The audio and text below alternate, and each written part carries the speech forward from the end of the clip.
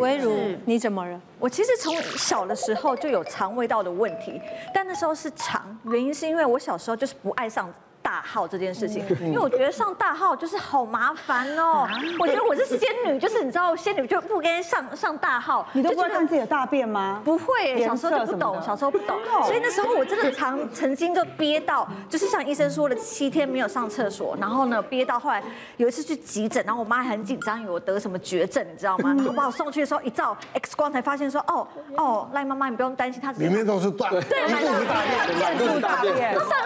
事，就不会怎么样的。然后我妈还。痛哭流涕，以为怎么了这样子？所以，我我觉得我是因为是从小这样子造成的一些不好的生生活习惯，对。所以，后来我长大的时候就开始长大更容易，仙女也是会大便。对，所以那个时候我就是因为这样子，然后后来导导致我的那个肠胃道就不太好，所以我很容易吃到一些像面食类的东西呀，或者是胀气的东西，就很明显。那我曾经就有一次就是吃了那个呃比较晚吃的面，就像凉面那一类的，哇，最明显的，哇，我。一吃完之后啊，我整晚不能睡觉，就是不只是肠胀气，我会突然觉得我的胃也胀气。但是因为我那时候我其实没有什么太多胃的问题，所以我没有备那种肠胃药在家里。所以你知道我一整晚的时候，本来是打算就是吃完然后休息一下，洗个澡就可以准备去睡觉，结果完全不能睡，然后动弹不得，然后一躺下去觉得好不舒服，然后就站起来在房间走啊走啊走啊，你知道我这样走到天亮哎。天都亮了，我才觉得我开始消一点消化好了，然后才可以这样子去睡觉哦，才比较舒服一点。后来才这样子才去睡觉，然后后来因为我自己本身就很爱去做。检查身体，所以有一次我去抽血的时候，我就检查说我的身体有发炎的指数，指数有超标一点，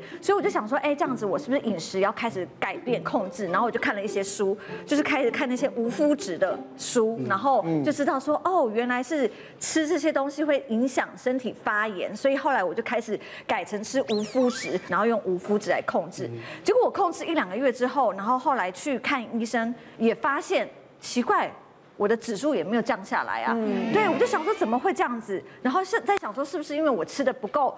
呃仔细，因为很多无麸只是细到是连你沾的酱油，嗯，这些都不能用，所以有时候我们会不知道这个是无麸质的东西，所以你还是会不小心吃到，我就觉得哎，怎么会这样子啊？发炎跟那应该没什么关系吧？哎，其实有点有。有关系。啊，跟肤质完全有关系，就是跟肤质有关系，但不是每一个人都是跟肤质有关系。像刚微弱的情况，他把面拿掉还是发炎，或者是还是有脏器不舒服，有可能是因为饮食里面的像面里面它有一些食品添加物，然后凉面可能会有一些芝麻酱，它比较油，然后但是生活压力都会让我们肠道菌的坏菌比例增多，那这时候产气的比例。也会增加，嗯所以就会容易胀胀的不舒服，胀整个晚上是很常见的。对我蛮多病人也都会这样子。嗯，对，所以其实啊，后来你应该有开开改吃一些蔬菜水果。对，就是面类那些就不吃了。可是后来发炎指数还是没有降下来。那可以多吃一些蔬菜水果，因为像蔬果里面的一些抗氧化的植化素或者是维生素 C 啊、多酚类都可以降低发炎指数。哦，别忘了订阅我们的 YouTube 频道，并按下小铃铛看我们最新的影片。如果想要收看更精彩的内容，记得选旁边的影片哦。